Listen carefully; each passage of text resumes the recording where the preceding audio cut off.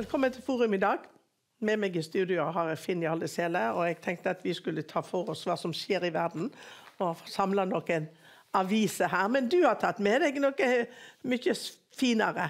Magnus Lagersbøtes landslov. Jo, vi feirer jo 1000 år med Kristus dette, uh, dette året, og så feirer vi også 750 år med en landslov som faktisk bygde på kristne prinsipper. Og du har kjøpt hele greia? Ja, Norge i dag har kjøpt den. Oh, ja. Og, eh, og, eh, det vi gjorde, var at når dette Når Riksantikvar, sjef for Nasjonalbiblioteket, kan vi i hvert fall si, Aslak Sira Myhra, var så stolt som en hane da han hadde fått ny utgave av Magnus Lagerbøtes landslov for noen måneder siden i forbindelse med det store kristenjubileet. Da, da fikk jeg hjelp av en dyktig medarbeider uh, bestilt denne omgående og hentet den. Så vi sikret oss uh, to eksemplarer av denne. Etter kongen hadde fått det aller første, så skaffet vi oss med en gang dette dyrebare eksemplaret. Fordi at dette er jo det største klenodium Norge har gitt til Europa. Og denne uken på Dagsrevyen så gikk det fram at, uh, at trønderne har feiret det. Frostatinget. Uh, det ble, det, på Frostatinget i 1274 så ble dette den første landsdekkende lov. Derfor heter den Magnus Lagerbøtes landslov. Og Det var trønderne visst som fikk æren av å presentere denne, selv om det går forlydende rom at Magnus Lagerbøte han satt i Bergen, som alle de gamle kongene. Harald Hårfagre ble jo begravet i Bergen, og hele slekta hans fremover ble begravet i Bergen. Og, eh, og Bergen var jo også hovedstaden de første århundrer av Norges rikes historie. Og Derfor satt Magnus Lagerbøtes bøte i Var ikke det i domkirken? Jo, det var i domkirken. Og så skrev på denne fantastiske uh, boken. Jeg tror vi må ta den ut. Ja, ja. Uh, og denne skal jo være så mye som mulig avfotografert og lik originalen. Og inni ser den sånn ut. Og her kommer jo da den gamle norske lov. Først på gammelnorsk, ja. og så på nynorsk. Det er jo de to norske målene. Og så holder bokmål på å prøve å opparbeide seg samme status. Og bergensk er midt imellom alle disse her. Og jeg, jeg leste nettopp her i denne boka om Jeg forsto mye av denne gammelnorsken, jeg hadde jo litt av det på skolen. Men uh, det som moret meg, var at kong, ved kongevalg, som jo er viktig, da hadde uh, fehirden det avgjørende ordet. Men han måtte ha et uplettet rykte hvis han skulle fungere som fehirde. Og det er det norske ordet for statsminister. Statsminister kommer jo fra uh, ministries, ja. det er engelsk, men det går tilbake til, til latin. Så det betyr statstjener. Men det norske ordet for statsminister, det er fehirde. Og jeg syns vi like godt kan gå tilbake til det. Det, det klinger kanskje litt nedsettende, men en del av det som statsministeren finner på for tiden, når det gjelder å anerkjenne en palestinsk stat som ikke, ikke eksisterer, da kunne vel kanskje være like godt å, å våge den nedlatende betydningen av statsminister som fehirde. Men dette er landsloven Det var ikke ment som nedlatende den gangen, Nei. men det høres sånn ut nå ja, det, i dag. Det er vi som er blitt ja. litt forstyrret når fehirde er blitt nedlatende, men det er nå så. Ja. men denne loven, loven her det var den første rik, riksdekkende lov i Europa, så det var et forbilde i Europa. Norge lå fremst i moderniseringen av sine lover. Og treller ble frie, vet vi, etter kristenretten kom på Moster i 1024, og fram mot at denne loven her humaniserte uh, kristenretten enda mer, så vi fikk kristen lov og rett i Norge, som det har stått i avisen. Ja, Men den er gjennomlyst av mm. evangeliet, ja. uten at vi forstår det. At det hadde aldri blitt humanisering av lov og rett uten evangeliet. Så har ja, ikke vi helt forstått det. Fordi at det var kvinner sier de, som var mest glad for, eh, for ja. loven. Eh, med god grunn, for hun fikk større, rettigheter. Og så var det bygd på de fire guddommelige døtrene ytre, som det kalles i, i Bibelen. Som er da Jeg vet ikke om jeg klarer alle fire, men det er rettferdighet, og det er sannhet, og det er miskunn. Altså det er, det er barmhjertighet. Det er sånne Sannsynligvis visdom. Ja. Og, Det er fra ja, salmen, eller? ja, det vet jeg ikke, men Ja. poenget, poenget er jo da at eh, det har vært sånn at dersom du tok et brød fordi at du var, holdt på å sulte i hjel, så fikk du ikke straff. Men hvis du tok brødet for å tjene penger på det, så fikk du straff. Altså noen barmhjertighet, mildhet, inn i, i lovsform som ikke hadde vært før. Du, det også var bra du har kjøpt den her. Vi må nevne barn også. Ja, ja. De skulle ikke lenger settes ut i skogen. Nei, Det var ingen livet. gode grunner til det. Verken 12 ukers frist eller 18 ukers frist, som de diskuterer i dag. Eh, Det er bare det at eh, metoden er ikke noe bedre. Og, eh, og, og så var det sånn at at, eh, at um, Nei, altså Barnet skulle ikke sette ut i skogen. Det hadde rett til alt menneske, Men Alle mennesker hadde rett til liv. Men- og det var en utrolig stor uh, forskjell på samfunnet. Ja. Og så var det jo sånn at en veldig viktig sak i dag er jo alle hundreåringene vi får. Velferdsstaten, den kristne velferdsstaten og suksessen øker levealderen når de kristne prinsippene blir fulgt, som velferdsstaten er bygget på. Og gamle skulle ikke eh, st- dyttes utfor stup lenger. Riktig, og nå skal vi pleie de. Det som vi må ha for å pleie de, det er bare høyt nok fødselstall til at det er sykepleiere nok. Ja, men jeg har med meg noen Det aviser. Ja, det henger sammen. Det var ei, det var ei god lov, og det var en stor revolusjon i europeisk eh, lovgivning som, eh, som kom med kristen tro og tanke. Og det må vi holde fast på hvis vi skal fortsette. Og Så feire stort i år alle steder. Men du, jeg kom til noe helt mye mer prosaisk. Det er Finansavisen. Og der er det byråkratirefser for støtte. Det går kaldt nedover ryggen, står det som sånn en dramatisk overskrift her. Vi har et byråkratisk inferno i Norge, sier Høyres Linda Hofstad Helleland etter å ha lest om livet blant byråkrater. Hun varsler reform. Eh, og så sier hun at Norge har en altfor stor offentlig sektor. Offentlig sektor utgjør nå over 60% av landets fastlands-BNP, sier Linda Hofstad Helleland. Jeg kjenner henne ganske godt. Høyrepolitikeren i Stortinget og i næringskomiteen. Eh, og eh, så er det da han, han Blomseth, en som heter Blomseth, som har eh, Ikke hvem som helst. Nei, han har vært 36 nærings, i, i næringslivet. Eh, Og, eh, og innen 2012 kom han inn i prosjekt for regjeringens forenklingsprosjekt. Og det husker jeg jo Han er sjel i regjeringens forenklingsprosjekt. ja. Og så har han skrevet en bok som er på 150 sider, så den går an til å lese i en fei. Eh, Den må vi kjøpe, for den heter 'Forenklingsgeneralens testamente'. Og han, har, han sier at han, kan, han kunne lett spare 100 milliarder i offentlig sektor dersom han satt ved makten. Og der sier da hun Linda at hun vil sette, gå i gang for å, å, å gjennomføre store deler av dette her. Kanskje alle deler. Ikke tvil om at hun kan konkurrere med Erna som statsministerkandidat. Eller Erna må lære av henne og bruke henne. Fordi at hva er regjeringens problem? Jo, de har alltid for lite penger til veier. Ja. Når de, har, de må ta den sosiale omsorgen først, og de offentlige utgiftene først.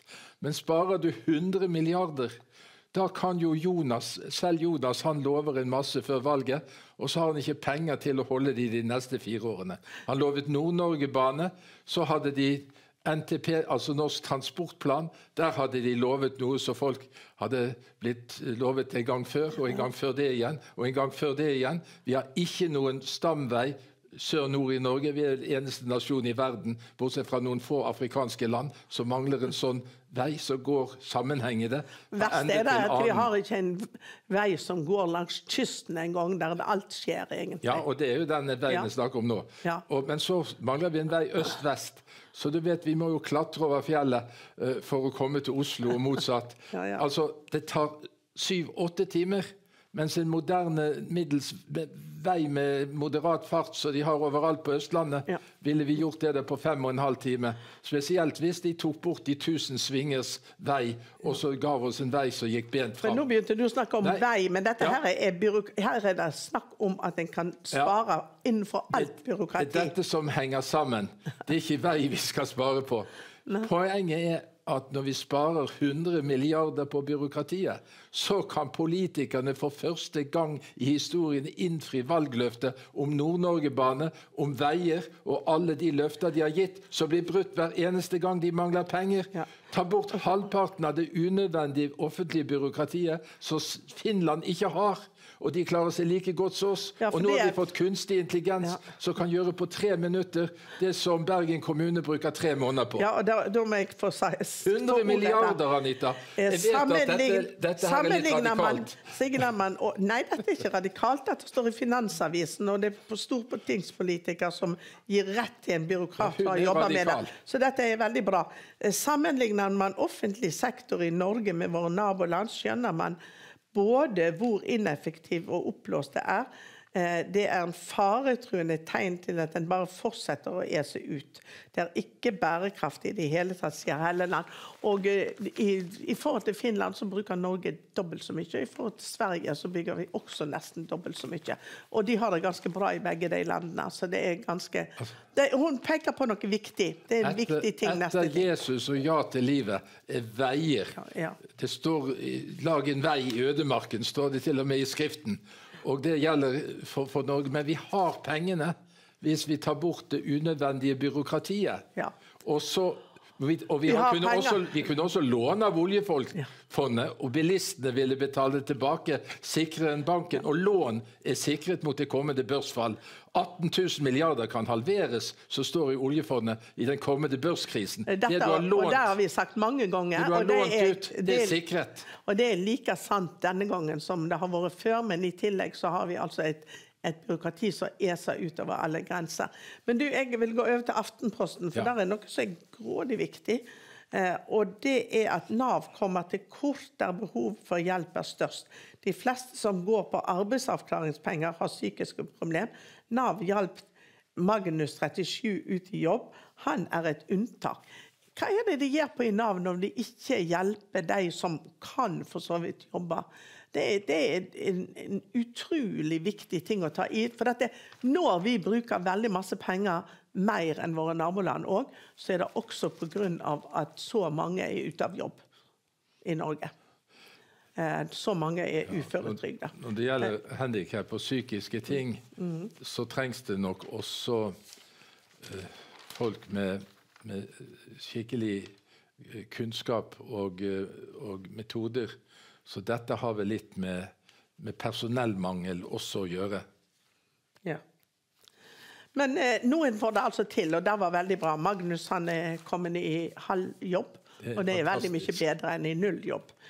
Eh, men det er, de slår også opp en annen ting, og det er æresdrap. For det viser seg at også i Norge så er den æresdrapskulturen eh, omfattende. Eh, og eh, vi har nå gått Altså, vi har nå drap nesten hver uke Ja, i det- Norge. det ikke og i Sverige der. Nei, nei, nei. Det er ikke æresdrap. Men mange av de er æresdrap. Og det er en helt uakseptabelt. Altså æresdrap, for- da er det ca. ett i året. Men Ja. et økende problem, for i løpet av i hver ny periode vi måler, så er det blitt flere og ikke færre Ja. æresdrap. Men bak hvert æresdrap, som jo er en skrekkelig ting, så, vi, så ligger det jo selvsagt en kulturforandring som vi må unngå. Altså den islamistiske kulturforandringen. Altså, vi må skille mellom fredelige muslimer som tror på sin gud, og så de som kommer fra en, eh, den krigerske varianten, eh, islamismen, og de som har tatt med seg skikker fra Somalia eller hvor det skulle være. Der æresdrap er en plikt. Og det kan jo lignes med den gamle blodhevnen som vi hadde før kristendommen kom til Norge. Da var det en plikt å hevne en slektning hvis noen var drept. Og den store islandske høvdingen Siduhall han var den første i Norden som lot en slektning ligge, sønnen sin ligge uhevnet i, i, i, eh, i graven, selv om det var en plikt å drepe en i den andre slekten som hadde gjort det. Og det var fordi han hadde funnet Jesus. Og så uten Jesus så hadde vi jo holdt på med disse greiene sjøl også ennå. Ja. Eh, men et utvalg vil altså skjerpe straffen for æresvold. For det er ikke bare æresdrap, det er bare toppen på isfjellet. Det er utrolig mye ufrihet som blir uh, påført barn og unge, spesielt kvinner, men også menn. Uh, og nå det altså, har en vært igjennom dette, og så erkjenner de da som veldig mange organisasjoner har sagt for lenge siden, eh, og som da ble kalt for å være eh, innvandringsfiendtlige eller islam og eh, ikke, ja, hadde sånt. Mens dette her viser en kultur som er helt veldig helt uakseptabel i Norge, og uvant for oss til å tenke sånn. Men nå er det sett en, det nye lovslaget er ganske omfattende. Og hun Tonje Brenna Jeg hadde aldri trodd at jeg skulle være enig med henne med no i noe, men, men, her har hun altså pekt på noe som, som må ryddes opp i eh, i Norge hvis vi skal beholde landet slik vi er vant til det. Vår levemåte slik vi er vant til det. Så det var bra i Aftenposten. Men du, så går jeg over til Norge i dag, for det er jo, vi skriver jo om veldig masse i disse dager. Eh, og eh, i Og Der er det tatt opp noe som er, interessant, nemlig at vår vestlige sivilisasjon er bygget på de ti bud. Og I Louisiana så har en vedtatt å utstille de ti bud i alle klasserom. Dette der er viktig. De ti bud skal utstilles i alle klasserom i staten Luciana i USA. Flere kristenprofiler er positive til loven, som ble vedtatt i, i forrige uke, for 14 dager siden nå. Eh, og, og, dette slår eh, Norge i dag opp. Eh, hvor viktig tror du det er at man vender tilbake igjen til de ti bud? Ja, Det er jo grunnloven for all som av lov og rett. Mm -hmm.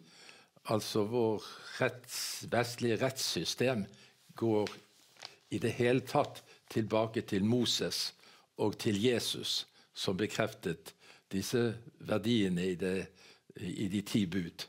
Så uten de ti bud så faller jo bunnen ut under ethvert samfunn.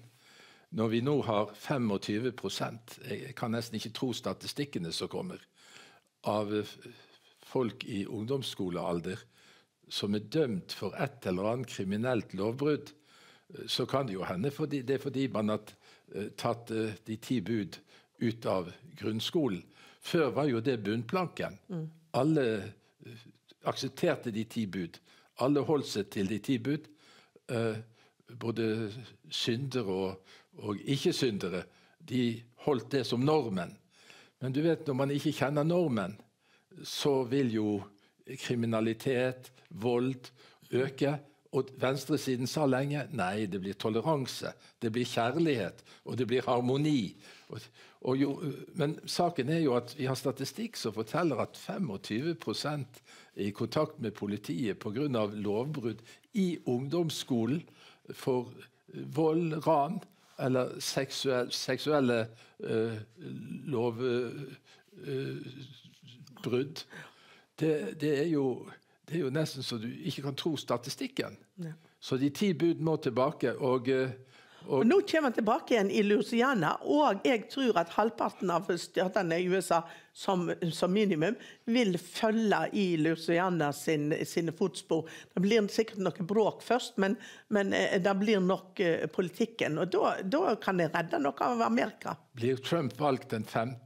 5. november, så, så, vil han vel prøve å få de ti bud inn i skolene alle, alle steder den 6. november. Så da kan, vi, da, da kan vi fortsette på denne sangen som vi nå har fått. Vi kan jo nesten si Hallusianna. du, I Norge i dag så har vi også eh, en, eh, en eh, oversikt presenterer Sommer-Norge. Og her har vi både juni, juli, august og alle, alle masse av møtene som skal være rundt om i Kristen-Norge. Eh, og det er en stor fest som, som en har hver sommer. Der 100 000 kristne reiser fra det ene til det andre, eller til det ene bare, eller til det andre bare, eh, og er med på å feire Kristus. Feire tusenår for Kristus, feire at Jesus lever, feire at eh, vi har eh, noe som er mer verdt enn hele verden. Å bli frelst Ja. og helbredet. Og- Og, treffe mange venner Ja. og fellesskap. Og det er jo en sann flora. Hvis vi holder opp dette, så er det jo en sann flora i, i et lite land. Se på dette her, to sider stappfullt med liten skrift over sommerstevner. Så de som skaper alt, sånn som våre selgere burde ha vært, de får jo ikke tid verken til å puste eller spise. Nei, sånn er det. Og eh, dersom du er interessert i å vite dette, så må du holde Norge i dag. Eh, Norge i dag får du ved å ringe 55 92 29 00 og be om Norge i dag. Så koster det nesten ingenting. 990 er tilbudet hele den sommeren òg. Og, eh, og da får du da papiren, eh, avisen i papir. Men du kan også gå inn på idag.no. Og eh, hvis du vil titte på det først, så bestiller du nyhetsbrevet hos Norge i dag. Da kan du gå inn og lese gratis noen artikler. Så må du betale hvis du, skal bli, hvis du vil bli abonnent. Og det vil du hvis du prøver deg. Hvis du leser der. Så for dette, Norge i dag er veldig annerledes. Veldig motstrøms. Vi taler der andre tider, også på nett. Så bestill nyhetsbrevet. Da sender du eh, navn og e-post og, og adresse og telefonnummer til, eh, til eh, 2030. Eh, eller på SMS til 2030, eller du ringer sammen nummer eh, 55 92 29 00 og sier at du vil ha nyhetsbrevet. Og eh, du kommer ikke til å angre. Eh, så eh, lykke til som ny abonnent. Vi får si det. Du, eh, vi hadde også jeg, må gå over igjen til, til Aftenposten. Her står det 'Europa alla Meloni'. Det er hun Kristina Pletten som er kommentator, og hun skriver at Italias statsminister Georgia Meloni vil endre Europa. Hun vil gjerne gå over, til gå over Emmanuel Macrons politiske lik for å oppta det. Hva er det som, er det som skjer i, eh, i, eh, i Europa? Hva er det som skjer i Italia? Europa er i endring. Valget på Europaparlamentet viste dette. Venstresiden er nå lammet av skrekk, både i Europa og i Norge. Og i Amerika. Fordi at den konservative bevegelse, de kaller seg konservative, akkurat som det kristne kunstpartiet, PDK skiftet navn til konservativ, så er dette en stor konservativ bevegelse. De vant valg, eller truet med sånn i avisenes språk truet med å vinne alle valg i Europa. I Italia, i Tyskland, i Frankrike. Der lyste Macron, statsministeren, ut nyvalg. I sjokket som han fikk, var så sterkt at han lyste ut nyvalg. Og eh, Det som da skjer i norske medier, det er at de kaller den konservative bevegelse Så Aftenposten en gang var det var jo en konservativ avis. Og halvparten av avisene i Norge var konservative. Og, men det har de helt glemt, for nå er alle på venstresiden. Og, eh, og når de, når, dette her ble de så forskrekket over at de nå på norske medier kaller det uh, ytterste høyre. ja. ja. Så, sånn er det nå. Vet du hva, Tida vår går eh, veldig fort imot sin slutt nå. Eh, Men, fremst, nei, men eh, denne eh, Finansavisen de skriver også om boligeksplosjon. Som vi en gang sa, løp og kjøp. Du, dette er ikke overalt i landet, men eh, boligprisene øker igjen. Man tror på rentenedgang, kanskje?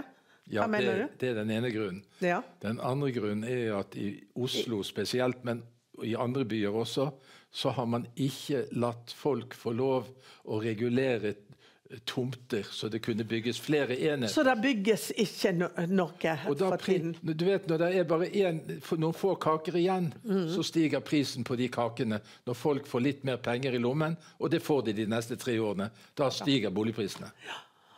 Det var alt som vi rakk i dag. Så takk til deg som så på, og takk for du som opplyste oss eh, både på det ene og det andre. Hver uke får vi rapporter fra den verdensvide vekkelsen. og menn og kvinner som blir frelst og tar imot Jesus over hele landet vårt. Les historiene i avisen Norge i dag. Bestill på 55 92 29 00. Bestill i dag.